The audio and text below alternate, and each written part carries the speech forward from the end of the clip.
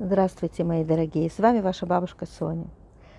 Э, лет 15 назад э, мы жили в Кириат-Хаиме, это пригород Хайфы. И у нас был восьмиэтажный дом, в одной из квартир которого мы проживали. И вот э, там у нас убирала одна пара подъезд, мыла подъезд очень интеллигентные люди, пенсионеры, которые таким образом как бы подрабатывали, чтобы у них была живая копейка. Э, они были очень приятные люди, мы всегда с ними, я и муж с ними всегда здоровались, пара была из Прибалтики. И вот э, в какой-то период я обратила внимание, что они исчезли.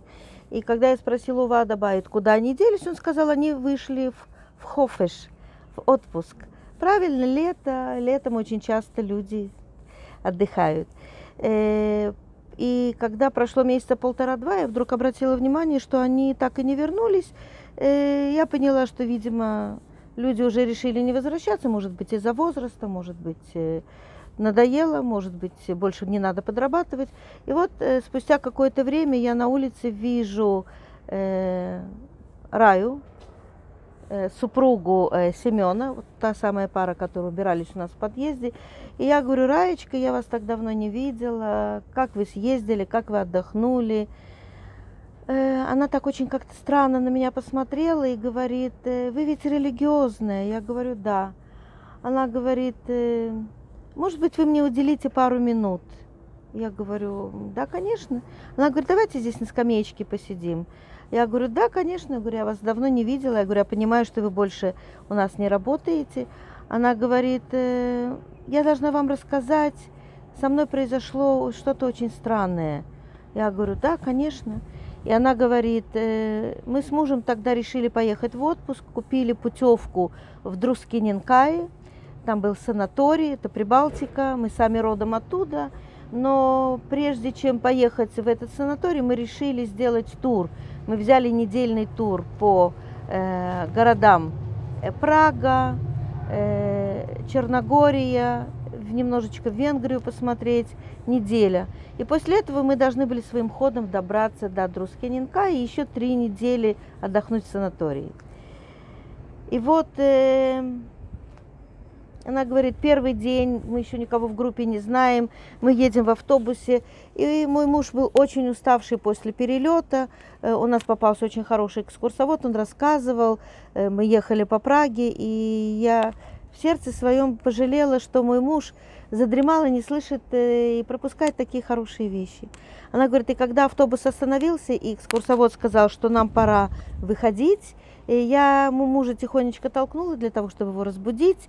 И увидела, что муж очень глубоко заснул. И я ему говорю, Семен, Семен, нужно выходить из автобуса, пойдем. Она говорит, я его толкаю, а он не просыпается. И, и вдруг по тому, как откинулась голова, я с ужасом увидела, что мой муж не живой. Он умер прямо в автобусе. Когда Рая мне это сказала, я схватилась за сердце и сказала, боже мой, кошмар какой.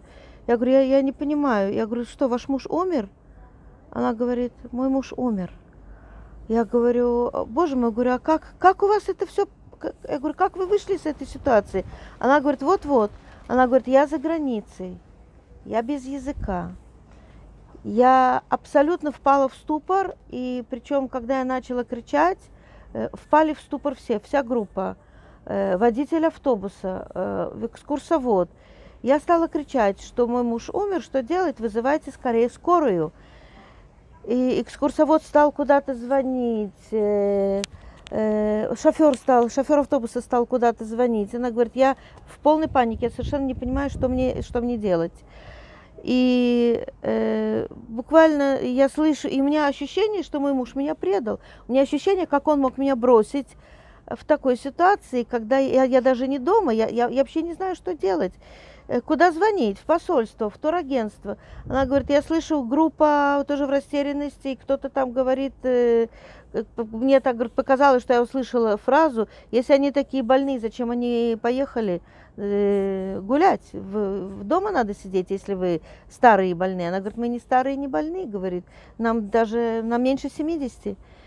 Она говорит, короче, тут такая паника, и экскурсовод говорит, я не знаю, говорит, что делать, говорит, я не могу дозвониться, и, и, и говорит, и в, в то же время, говорит, мы не можем, говорит, у нас группа, у нас э, график, мы должны, говорит, все срывается.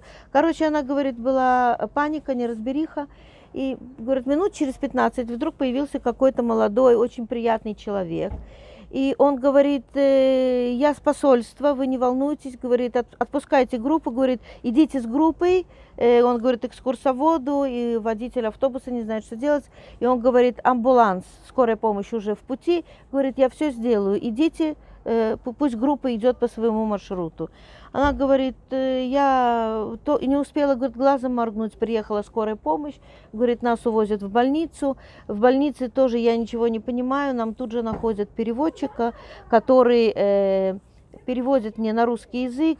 Э, этот э, человек с посольства говорит, очень быстро, оперативно связался со страховым агентством, чтобы мне не представили, говорит, такой счет на, на много тысяч. Она говорит, быстро была оформлена страховка, пока туда-сюда, говорит, мне выдают документы, он тем временем беспокоится о билетах на самолет, чтобы мы э, этим же вечером, чтобы мы улетели он э, организовывает гроб, чтобы тело было доставлено.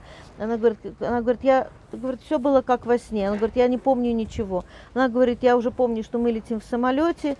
И, и когда я вышла, говорит, нас уже ждала ЗАКа. ЗАКа – это организация, которая занимается похоронами, чтобы человек был похоронен по еврейскому э, обычаю. Она говорит, и уже была машина, говорит, и гроб погрузили. Она говорит, я как в тумане, и мои дети меня встречают. Она говорит, и в этот же, практически, говорит, в ближайшие сутки э, все было сделано, и место на кладбище устроено.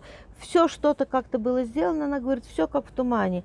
Она говорит, я себя нашла, что я сижу шива по моему мужу, вместо отпуска, вместо санатория, говорит, я отсидела шива, потом нужно было заказывать памятник. Говорит, все как-то так быстро прошло. Она говорит, я толком не, не, не сообразила. Она говорит, и когда мы поставили памятник на 30-й день, мне моя дочь говорит, говорит, мама, то, что, говорит, произошло, и как все это было организовано, говорит, я хочу отблагодарить э, наше израильское посольство за оперативность, за то, что ты не успела ни тебя там, короче, не, не мотали с места на место, не было никакой бюрократии, ничего. И она говорит, мама, ты хоть успела спросить, как звали этого человека с посольства? Она говорит, кажется, его звали Стас. Да, да, точно, его звали Стас. Она говорит, и моя дочка начала звонить э, в посольство Чехии для того, чтобы поблагодарить израильское посольство за такую оперативность, за, за такую внимательность, за то, как, как все было сделано быстро. Э, в общем, мы начали искать этого Стаса. В израильском посольстве сказали, что у них такого человека нет. И тот, кто нами занимался, они в курсе, действительно, э, у них были там, э, как-то через них это дело проходило, но они сказали, что они уверены, что этот Стас работает в туристическом агентстве, от которого мы организовали этот тур. Мы звоним в туристическое агентство, у них такого представителя нет. Мы опять звоним в Прагу, э, в местное отделение. Э, в Праге говорят, нам неизвестен такой человек, у нас нет такого человека в штате. Короче, туристическое агентство думает, что человек, который мной занимался, ведь стоят его подписи, стоит, э, он что-то он там делал, он все организовал туристического агентства, она говорит, э, были уверены, что это человек с посольства. В посольстве были уверены, что Стас этот с туристического агентства. И тогда она говорит, мы стали искать, может быть, э, это человек с израильского посольства. Может быть, он в то время был в Чехии, э, в Праге. Мы стали звонить в посольство в Тель-Авиве, в чешское посольство. Там, говорят, нам неизвестен человек по имени Стас. Она говорит, Соня, вы верите, мы его искали э, очень долго, около месяца. Никто не знает, кто этот человек, никто не знает, о, о ком э, речь. Все, все, все знают, что все было сделано очень быстро, оперативно. Э, нам помогли э, амбуланс, гроб, больница, страховка, билеты, э, связаться с Израилем, здесь все заказать. Она говорит, ну вы понимаете, этот человек как сквозь землю провалился, о нем никто не знает. Нет такого человека, как сказали, в природе не существует. Она говорит, а теперь вы мне скажите, кто это был, кто нами занимался. Я, почесав затылки, сказала, Рая, единственное, что мне приходит на ум, это то, что видимо, вам был послан Ильяу Анави, Ильяу пророк.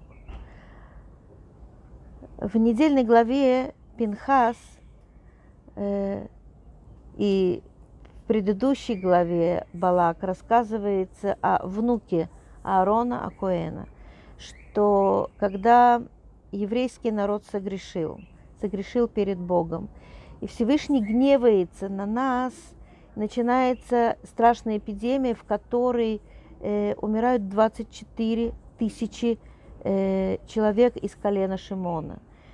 Э, ангел смерти идет по стану Израиля, и жертвы могут быть гораздо больше. И тогда Пинхас встает э, и совершает действие, заступившись, заступается за честь Всевышнего – и останавливает эпидемию.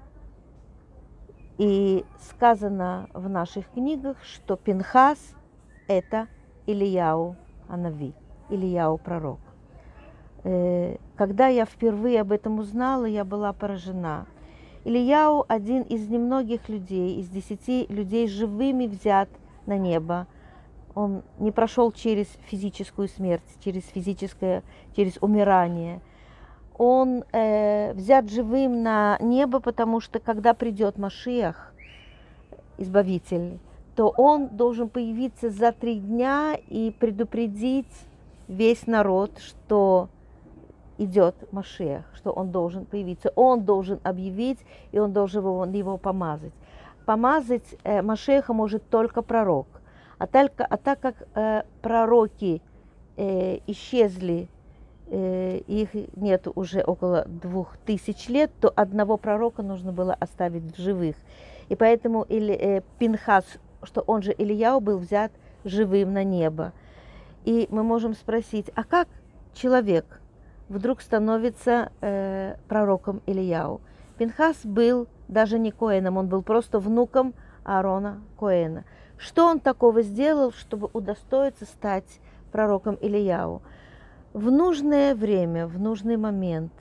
Он действовал четко э, по обстановке. Он проявил инициативу, он проявил э, героизм, он практически рисковал своей жизнью, вступившись за Бога, он э, вполне мог опасаться за свою жизнь, потому что в той обстановке, в которой э, и в то время, что он действовал, его практически должны были э, убить. Я не буду специально заходить в, в то, что он сделал, но он проявил героизм, самопожертвование, э, геройство. И Всевышний говорит ему, ты становишься э, Коэном, и я с тобой заключаю вечный союз. Знаете, есть такая старая поговорка «плох тот солдат, который не мечтает стать генералом». Так вот, э, Пинхас в один момент, совершив э, невероятный поступок, совершив невероятное самопожертвование, заступившись за честь Бога, моментально из солдата становится генералом. Каждый из нас может оказаться э, в такой ситуации, когда он должен проявить э, мужество, смекалку, находчивость, э, действовать четко, быстро. Э, когда э, мы, мы хотим сказать, что у человека произошло какое-то чудо и его э, спас какой-то человек, то мы говорим, к нему пришел Ильяу Анави. Он, Бог ему послал Ильяу Анави. Каждый из нас может стать таким Ильяу, спасителем для кого-то, ангелом для кого-то. Э, Сейчас я сижу в суке. Э, сука – это та мецва, которая единственная, в которую мы входим и находимся внутри мецвы. И я желаю каждому из нас, чтобы э, хотя бы один раз в жизни каждый из нас был как Ильяу Нави. И кому-то помог, кому-то протянул руку помощи, кого-то спас.